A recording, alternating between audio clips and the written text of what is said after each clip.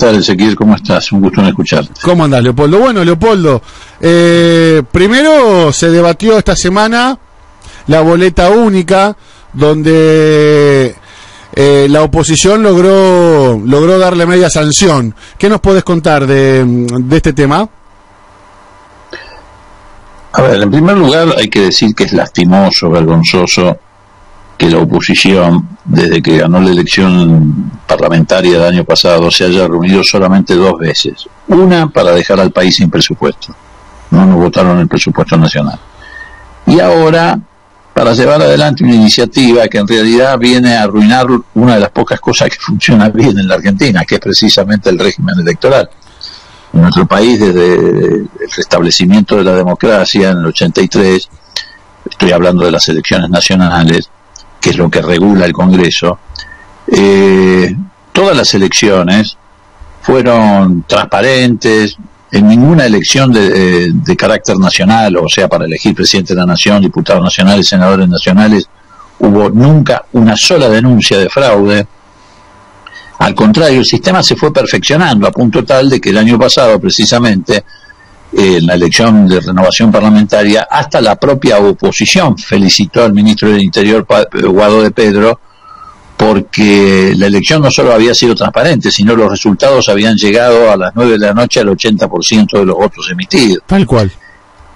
Eh, así que, digo, eh, lo que pasa es que se juntan solo para ver si pueden infringirle alguna derrota en el Parlamento al gobierno, pero nunca se juntan para ver cómo pueden colaborar en sacar el país adelante después de la crisis que provocaron. Al contrario, como vos decías recién en la introducción, cuando hay alguna iniciativa, como puede ser, por ejemplo, eh, este gravamen a, a la renta inesperada, es decir, aquella renta extraordinaria que se obtiene como consecuencia no de un aporte productivo o de una de un esfuerzo humano, sino de, de porque llueve del, del, cielo como consecuencia de la guerra, inmediatamente, aún sin conocer el proyecto, dicen que no lo van a votar, dicen que no van a votar tampoco el proyecto del fondo para pagarle al fondo, que es tratar de recuperar dinero fugado y no declarado este, en Argentina, fugado al exterior, a paraísos fiscales, ahí te, quiero hacer, offshore. ahí te quiero hacer un paréntesis, Leopoldo. ¿En qué quedó ese proyecto? Sí. ¿En, ¿En, qué quedó ese proyecto de ley? Está en, el, está en la Cámara de Diputados está, para tratarse. Fue aprobado en el Senado sí. y ahora lo tenemos en la Cámara de Diputados. Va a ser una jugada difícil. Que... Va a ser difícil en diputados. A ver, todo va a ser difícil en diputados porque la decisión que tiene la oposición es impedir de gobernar al gobierno. Tal cual, tal cual. Sí, este, sí. Por eso te digo que su primer acto de, de, en el ejercicio de la oposición fue dejarnos sin presupuesto nacional. Tal no a nosotros, sino a la sociedad argentina. Claro, claro, claro, claro. Eh, y después así que bueno y después tenés lo de la, y después tenés lo de la ampliación eh, de la corte que eh, para mí es un es un proyecto muy bueno que se tiene que debatir obviamente que tiene que ser muy plural pero aparte que está lo que está planteando acá el gobierno es una corte suprema federal con 24 miembros de las 24 jurisdicciones que conforman la República Argentina Leopoldo. Una corte federal una corte con representación de género una corte adecuada a los tiempos. Cuando se instaló la primera Corte Suprema en la Argentina en 1863, que era de cinco miembros, los argentinos teníamos 1.200.000 habitantes. Claro. Hoy tenemos 48 millones de habitantes. Tal cual, tal cual. Eh, el servicio de justicia, todos sabemos que es pésimo en la Argentina. A ver, más allá de la influencia que tiene, por ejemplo, el clan Macri, Sí. El, la, la, quiebra del de correo ya lleva 20 años de tramitación. Fue denunciado el, este, el clan Macri por de la Rúa por no pagar los cánones al correo. Digo esto porque es bueno recordarlo, no fue el kirchnerismo el que Sí, puso sí. en marcha la denuncia contra, Memoria contra activa. Macri. Memoria activa. Exacto. Sí. Bueno, lleva 20 años de tramitación. Si vos querés llegar a la Corte con un caso hoy, después de atravesar muchos años en distintos estamentos este, de distintas jurisdicciones, para llegar con un recu- recurso en queja tenés que depositar previamente 300 mil pesos. Y si no te tratan, o mejor dicho, te rechazan el recurso en queja, se quedan con los 300 mil pesos. Así funciona la justicia en Argentina. Se necesita una corte de 25 miembros, no solamente porque además tiene que tener representación federal de género, sino porque debe ser multicultural, debe representar y expresar distintas formas de pensamiento. A mí no me interesa si hay un juez conservador que, por ejemplo, está en contra de la interrupción voluntaria del embarazo. Yo no estoy en contra, pero no me importa. Lo que yo no quiero es cuatro jueces, que, como ocurre ahora, que estén al servicio de la Embajada Norteamericana, de Clarín o de la Asociación Empresaria Argentina, donde entre otros está este señor Brown, que se reía porque aumenta los precios todos los días. Esta corte representa eso hoy en Argentina. Bueno, representa los dichos de, de Rosati en Chile, Leopoldo. Bueno, por eso.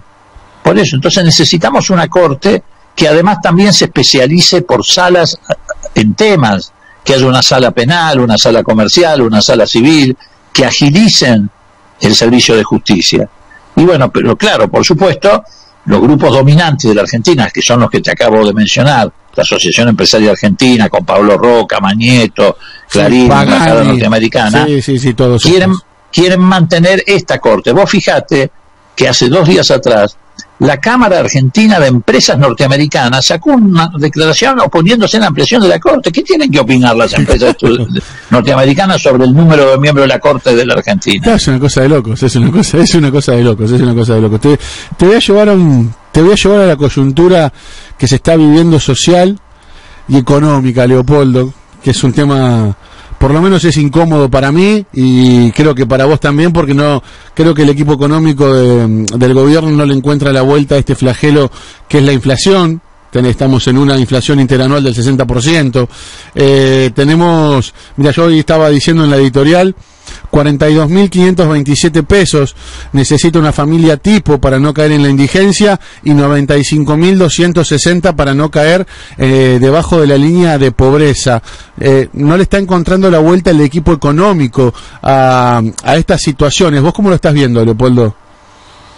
Bueno, efectivamente, es una deuda pendiente y es, y es lo que motiva un fuerte debate en el frente de todos, que no es un debate interno o de interna, porque de interna significa, qué sé yo, en la, connotación que se le da a la palabra en Argentina, que, no estamos peleando por futuras candidaturas o por cargos en el gobierno, no. Tenemos un debate programático, político, efectivamente, esa es la discusión que tenemos. ¿Cómo mejorar la política de distribución del ingreso? que no está funcionando en, en relación a los parámetros o a la sensibilidad que tiene el Frente de Todos. ¿Cómo mejoramos la política de, de ingresos eh, de, la mayoría de los argentinos? ¿Cómo desacoplamos los precios internacionales de los precios locales? Claro, ahí está el tema también. ¿Cómo, cómo, cómo regulamos el mercado este, en Argentina? ¿Cómo regulamos el mercado cambiario, es decir, tenemos un montón de, discusiones de este tipo.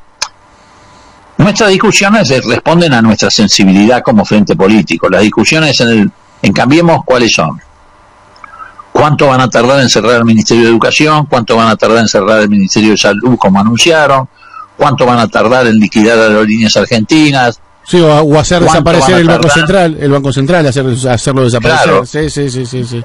¿Cuánto van a tardar en llevar adelante una reforma laboral para suprimir las indemnizaciones por despido? ¿Cuánto van a tardar en llevar adelante eh, eh, la reforma previsional que el lenguaje de ellos significa cuánto van a tardar en reprivatizar? Ayer la mano derecha de Patricia Bullrich, el diputado Milman, dijo que iban a cerrar el PAMI. Es decir, la discusión entre nosotros es cómo vamos a cumplir con nuestro compromiso electoral del 2019. En definitiva, cómo, cómo hacer para ayudar a, a mejorar la calidad de vida de la gente. La discusión de ellos es cómo hacer para joder la calidad de vida de la gente. Ahora ya te lo dicen a cara descubierta, Leopoldo, ¿eh? a cara descubierta te lo dicen, ya no esconden nada. porque están pero porque están subidos al caballo de la soberbia, porque se sienten muy apuntalados por este, los grupos dominantes de la Argentina que recién mencionábamos. Se creen impunes. Pero bueno, de impunidad ni hablar, la velocidad con que Comodoro Pi este, lleva adelante la impunidad del macrismo en el espionaje ilegal es increíble. terrible, sí, terrible. Increíble. Y además se comen todas las causas ahí para frenar las investigaciones que se estaban llevando adelante. dictan medidas este, procesales para ir quitándole responsabilidad a Macri, arriba, a Magdalani y, al Estado mafioso que se había instalado en, los en, en, el aparato de inteligencia. Así que de impunidad ni hablar. Ahora, eh, Leopoldo, vos sabés que, y te juro por Dios, eh, me solidarizo de corazón con vos, porque yo no puedo creer, no puedo creer, ahora me acordé, que el fiscal rebelde, Stornelli, te haya denunciado. Es una cosa, es una cosa inédita. No, ya no es insólito. Sí, lo que es inédito, no es que me haya denunciado a mí. lo que es inédito es que siga siendo fiscal. También, claro, también, también. Creo que son las dos cosas. bueno, pero, es terrible. Eh, ¿Cómo va ese tema? Así funciona esta estructura del Poder Judicial. ¿Y cómo va ese tema, Leopoldo, con esta denuncia que te ha hecho? No, eso, no tiene ninguna pava. Es, una vendetta de humo, es, una vendetta de humo. Es una, sí, revanchismo, no, no hay ni siquiera motivo para, para instruir una causa, pero además, y menos para invadir las facultades que tiene el Congreso argentino, la ley, eh, la que nos otorga la ley de inteligencia, la comisión bicameral. Lo que pasa es que la comisión bicameral de seguimiento de los organismos de inteligencia se ha constituido en una molestia muy fuerte, precisamente para los que quieren darle impunidad al macrismo. ¿Y quiénes son? Y bueno, estos camaristas, fiscales y jueces que están en Comodoro Pi y que llevan adelante este tipo de, de iniciativas. Ahora, Leopoldo, eh, eh, la, última. Eh, primero, por favor. primero preguntarte, primero preguntarte por qué te generó eh, los dichos de Federico Brown, que se nos, se nos rió en la cara a todos los argentinos, vamos, nosotros vamos a remarcar todos los días, y frente a esto, y frente a esto que se, que, que, se ve en la cotidiana, en la calle, eh, ¿cuáles son las herramientas del Estado para controlar esto y para atacar de una vez y para siempre a los formadores de precios? Bueno, a ver, los dichos revelan, te reitero, eh, la prepotencia de los que se sienten impunes, de los que se sienten dueños de la Argentina como ellos mismos se califican. Sí. Eh, y las herramientas son múltiples para enfrentar eso. Lo que hace falta más que herramientas es voluntad política. Es voluntad política. Sí, es decisión política, totalmente. Exactamente. Eh, yo creo que yo, yo, eh, yo, creo que el que estaba dispuesto a hacerlo era era Roberto Feletti. Lamentablemente, bueno, eh, ha presentado la renuncia que no, no te quiero meter en un brete, pero eh, ¿cómo, ¿cómo ves la gestión en estos dos años y medio del ministro Martín Guzmán, Leopoldo? Mira, es el centro de la polémica y del debate en el frente de todos.